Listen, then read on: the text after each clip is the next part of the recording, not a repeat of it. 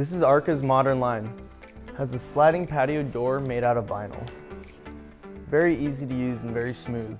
Has a three-point lock system, which is great for security. You can open it from this side as well as this side.